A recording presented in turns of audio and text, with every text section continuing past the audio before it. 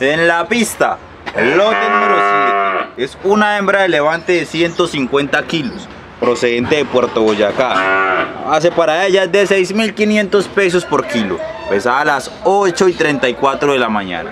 Lote número 7.